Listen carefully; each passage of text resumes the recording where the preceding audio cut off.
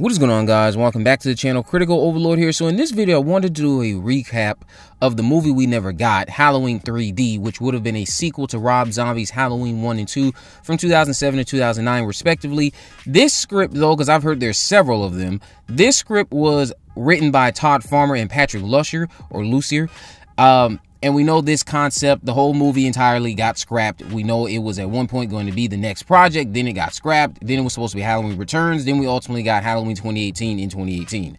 So I'm just going to recap the important bits of this courtesy of this website, the Horror Syndicate, and share my thoughts on what could have gone down as a sequel to Rob Zombie's Halloween 2. So, this script began with a different perspective of the events at the end of the second film. We're still in the cabin, but it's from Laurie's perspective and her point of view during that encounter where the police have that cabin surrounded and she's in there being held down to the ground, presumably. Loomis goes in, Michael's in there, Ghost Deborah's there and Laurie is stabbing at Michael repeatedly and she delivers the final blow with the knife to Michael's face. However, she comes to discover that she did not kill Michael and that the person she stabbed to death had been Dr. Loomis. On the scene and still in shock over the death of Annie, Lee Brackett is desperate to protect Laurie and is in denial of the fact that Laurie murdered Loomis. Meanwhile, elsewhere in Haddonfield, we're introduced to a new lead protagonist named Amy, who parties with her friends as the scene at the shack makes the news and the drunken group of friends decide that they're going to go out and TP the town. Back at the shack, the police are unable to find Michael, and Brackett has Laurie loaded into his cruiser. He insists that they contact another psychologist to meet him and Laurie at the hospital, but while on the road, Michael appears and strikes, crashing through the windshield and lunging at Brackett.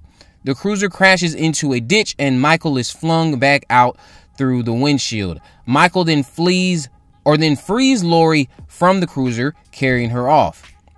Soon after, a banged up Brackett is met by Dr. Josie Blair, who has had some experience with Myers and Loomis. Looking for insight as to where Michael would have taken Laurie, the two conclude that Michael's business wasn't done with Laurie and that he was looking for someone else as well. Meanwhile, at the local cemetery, Michael and Laurie dig up Deborah Myers' grave, but are interrupted by Amy and her drunken friends who have stumbled upon them. Laurie tries to warn the group to leave if they want to live, but as Amy's boyfriend approaches the grave and recognizes Laurie from the news, Laurie pushes him into the dug up grave where Michael awaits. Michael kills Amy's boyfriend and then climbs out of the grave and kills her other friends as they try to flee. Just as he goes to strike at Amy, sirens and flashing lights approach from the distance, and Laurie stops him. They remove Deborah's corpse from the grave and then throw Amy inside the casket with the headless corpse of her boyfriend. They then toss several headstones on top of the casket, preventing Amy from getting out, which apparently is just a ploy to slow down the police and get them off their trail. Michael and Laurie take Deborah's rotting corpse and flee the scene just before Brackett and the other police officer arrive, other police officers arrive.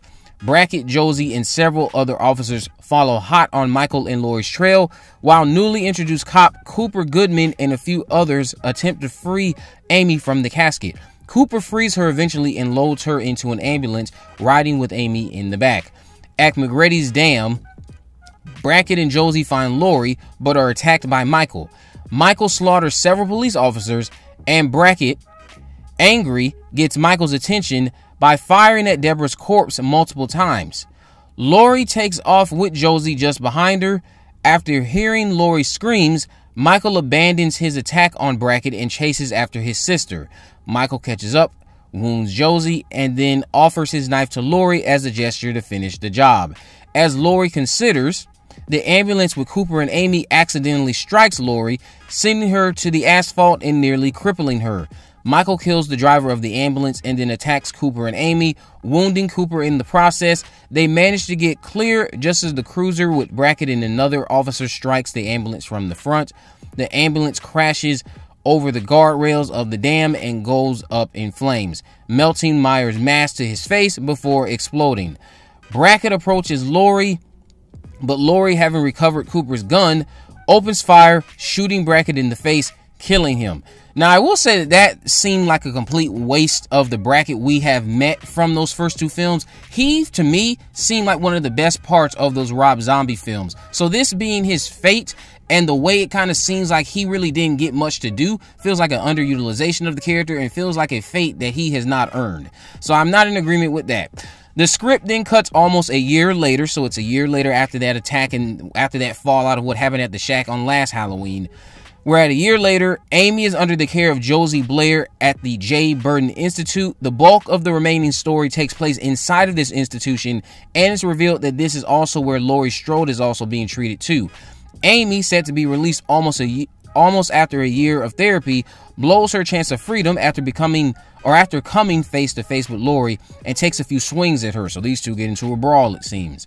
Meanwhile, Cooper Goodman is the only police officer who is not satisfied with the conclusion that Michael died in the ambulance explosion and believes that he is responsible for multiple unsolved murders that have happened throughout the last 12 months, with each unsolved murder circling around the location of the J. Burton Institute. Michael, indeed alive, manages to get a new mask at a local Halloween store, killing the stock boy in the process. At the institution, Josie sits in on a session with Laurie and Dr. Kibner, where we learn that she believes she had shot and killed Michael a year earlier. We get a glimpse of the previous scene at the dam from her perspective, where she sees Michael approaching her and not Brackett. Kibner then drops the bomb on her that she had shot Lee Brackett in the face and not Michael, just as she had stabbed Loomis at the abandoned shack. This sparks an emotional outburst of remorse, guilt, and regret. Cooper, Following up on his investigation of Michael's whereabouts, ends up confronting an orderly from the Institute who is off duty and at home with his wife. This orderly just happens to also be fucking Laurie, and Cooper knows it. Michael shows up just after Cooper leaves, killing the orderly and his wife, but because he forgot his phone at the orderly's home, Cooper returns and just barely misses Michael. The following day, October 31st, Cooper visits Amy and Josie at the institution. They all believe that Michael will be coming to the institution to kill them and free his little sister, but Cooper has a plan involving C4s hidden in the urn containing the ashes of Deborah Myers. Later, Michael does make his presence known, and all hell breaks loose with Michael taking out Dr. Kibner, nurses, orderlies, and anyone who is in his path. Cooper tries to get Amy out of there, and Josie is severely wounded and nearly killed. Meanwhile, Amy's group of crazy friends in the institution mount their defense by taking Laurie hostage and tying her to a chair as bait while they await with their makeshift weapons. This, of course, backfires on them as Michael takes them all out and frees Laurie. Michael and Laurie leave the institution heading into town. Cooper and Amy race after them, looking to execute Cooper's plan. Michael and Laurie get separated in a crowd of people in town where a big event was to happen at Pliskin Park. Amy catches up to Laurie, handcuffs her to herself, needing to draw her in to Cooper and Michael at the Great Pumpkin stage in the park. Laurie and Amy fight while cuffed together just as Michael and Cooper fight. Michael slashes Cooper's stomach open, and Cooper hands Michael the urn with the C4 back on Amy and Laurie. Laurie claims that she does not just want it to be over with and quickly grabs the cleaver that Amy dropped. Laurie then chops off her own hand, freeing herself. This gets Michael's attention and he moves from the stage to Laurie, who is bleeding to death, carrying the urn with him. Amy moves away from both of them and approaches the stage looking for Cooper, but Cooper stops her, revealing that the C4 and detonator are stuffed in his stomach. The explosion goes off, killing Cooper and sending Amy flying into the chairs in front of the stage. Back on Laurie and Michael. Laurie grabs the hand with the knife, puts it against her chest, understanding of what she wants. Michael pulls her close and embraces her as the knife penetrates. Laurie dies, and Michael vanishes from the scene as police and a Bang Josie arrive. Now, I will say this this screenplay seems to have a lot of potential compared to the first two movies, but what I do not like is still continuing to see this deteriorated version of Laurie Strode. Now, I will say this I think Scout Compton would have done a terrific job capturing it once again, like she did in the second film, but I just think we're still going down that path of Laurie just being this very unlikable protagonist. Some of the things that they were doing with Deborah Myers seemed a lot more reasonable to me as opposed to what we saw in the second sequel or the first sequel, I meant to say.